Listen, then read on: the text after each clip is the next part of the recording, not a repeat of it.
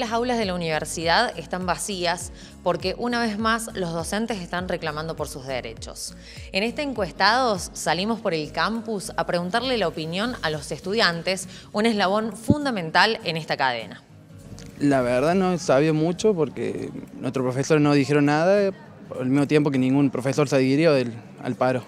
Y los docentes creo que están reclamando eh, condiciones eh, laborales mejores eh, y bueno, que eso va a repercutir en torno a, la educación que estamos teniendo todos los estudiantes hoy en día. Tengo entendido que el reclamo docente es por cuestiones salariales, que hoy en día no solamente en docentes, sino que un salario no alcanza a cubrir una canasta básica, entonces, y más el sueldo docente, entonces hasta donde tengo entendido, es esa la cuestión. Los docentes están en reclamo por el aumento salarial, ya que se ven eh, por la suela inflación, se ven, su salario se ve eh, acotado a partir de, la inflación que hay y el poco presupuesto que está destinado a sus salarios, así que están reclamando una suba salarial y un ajuste a partir de la inflación. Sí, sé que en este momento tiene que ver con el reclamo por el salario docente y por las condiciones económicas a la cual eh, se ven afectados, digamos, su, salario por la situación económica general del país. No, no estoy informado, la verdad. Eh, estoy un poco desconectado, pero sí sabía que había paro, pero no, no sabía lo que están pidiendo los docentes. Sé que el principal reclamo es el aumento del salario. No, la verdad que no. En esta oportunidad no. Venía escuchando que había reclamos salariales por el problema económico, que están cobrando muy poco, pero nunca supe por qué es bien el paro. En parte pesa mucho la parte económica hoy en día, pero que también la, parte de, sobre la calidad educativa eh, tiene mucho que, que ver, tiene mucho, mucho peso.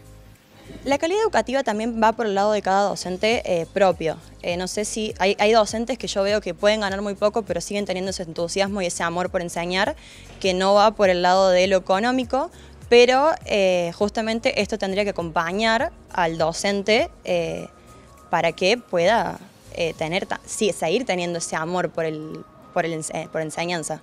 Yo creo que el reclamo salarial obviamente es lo más importante y lo que más los interpela a los docentes, pero creo que también se está eh, luchando y tratando de, visualizar la problemática educacional que está teniendo eh, las universidades públicas del país.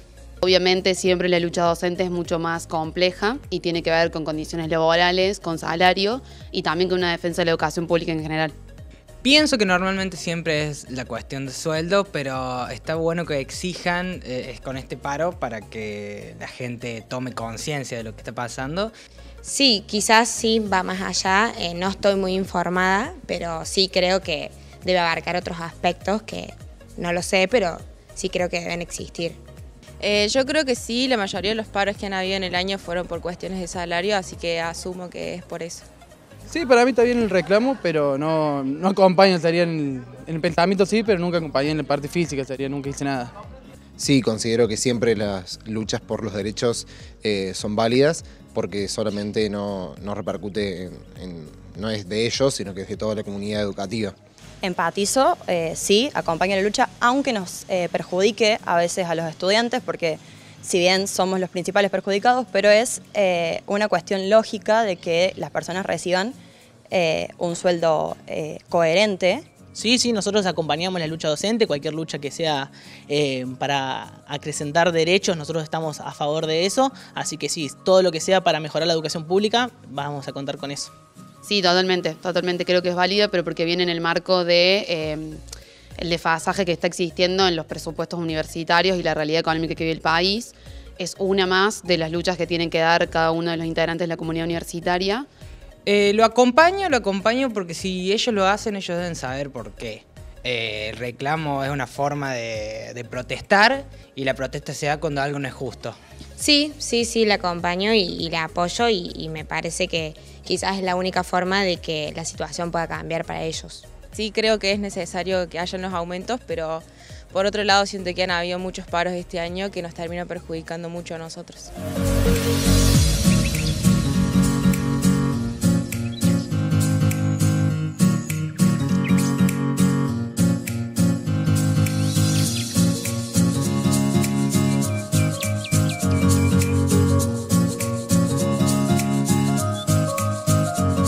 Profesores, por suerte, no hicieron ni, nunca, ni no se dieron el paro en realidad. Seguimos teniendo clases con normalidad, así que eso nos sirve también a nosotros para poder terminar el cuatrimestre bien. No, sí, por supuesto que afectan la vida académica, porque hay muchos docentes que, que no dan clases, se suspenden y se dan como, como, como si se hubiesen dado las clases. Sí, sí, sí, porque hay clases que no se dan, hay clases eh, que las tenés que ver vos por tu cuenta, que no es lo mismo que tenerlas con un profesor. Si bien, eh, por lo menos en nuestra carrera, los profesores empatizan mucho con nosotros, es decir, eh, les dan, nos dan todo lo posible para que las clases las podamos realizar nosotros mismos, clases de consulta, es empática la cuestión, pero sí, no es lo mismo tener una clase presencial que estudiarlo por tu cuenta.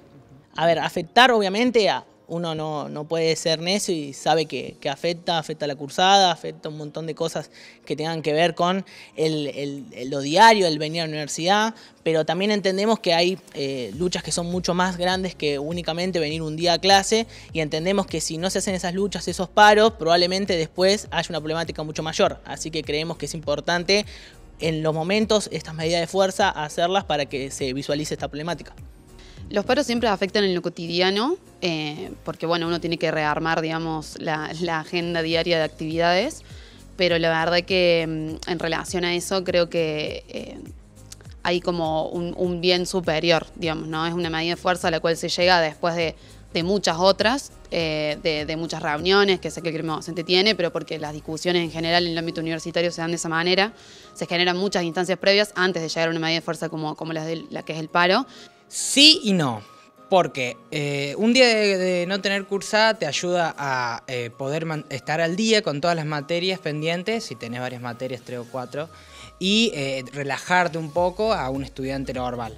Y no porque a lo mejor la clase que iban a dar te puede atrasar en algún tema que no sepas, pero siempre los profesores son muy buenos y tienen muchas clases de consulta. No tener un día clases o tener menos horas, sí creo que nos afecta en época de parciales y de finales, pero bueno, creo que por otro lado es entendible y necesario. Y el tema de quitarnos clases por ahí, sobre todo las clases prácticas en nuestra carrera por lo menos, eh, es todo un tema porque son clases que generalmente no se recuperan y son prácticos que nosotros vamos perdiendo lamentablemente. Sí, por supuesto que sí, porque nos afecta de uno u otro modo a todos.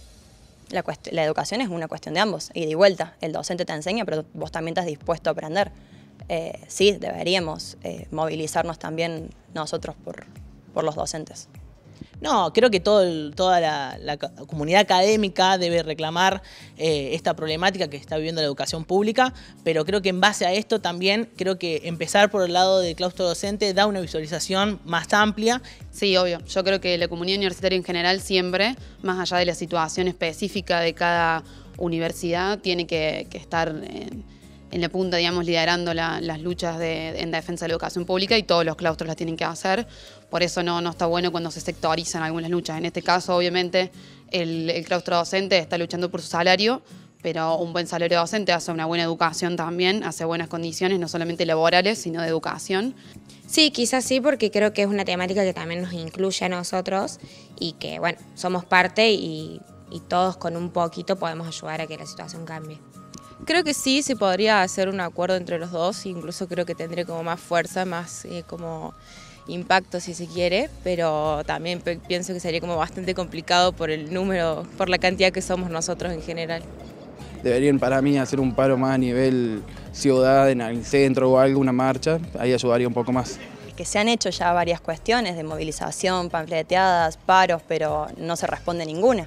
Y, a ver, como medida de fuerza se pueden buscar varios, se puede buscar una asamblea, se puede buscar eh, una pegatina por el centro, clases públicas abiertas. A ver, medidas hay varias, eh, dependiendo también el momento, el contexto y la situación en la que se puedan llevar a cabo cada una de las medidas. Asambleas, reuniones, clases públicas pueden ser ejemplos de, actividades que se pueden generar y que todos lo podemos hacer juntos. Visibilidad en las redes ayuda mucho, que la gente sepa. Eh, por ejemplo, los jóvenes de hoy en día usan mucho Twitter e Instagram, que se hagan notar por ahí es bueno, eh, porque normalmente por la tele los chicos jóvenes no lo ven, pero la gente grande sí. Y quizás em, hacer alguna movilización por redes sociales, puede ser que tienen mucho alcance los medios de comunicación, o así entrevistas como esta, eh, o hacer llegar el mensaje a través de una carta, un informe por ahí otras cosas que quizás no nos afecten tanto como perder un día entero de clases. Sí, quizás eh, por ahí los medios televisivos son como lo más visible, las radios, las televisiones, puede ser una buena campaña también.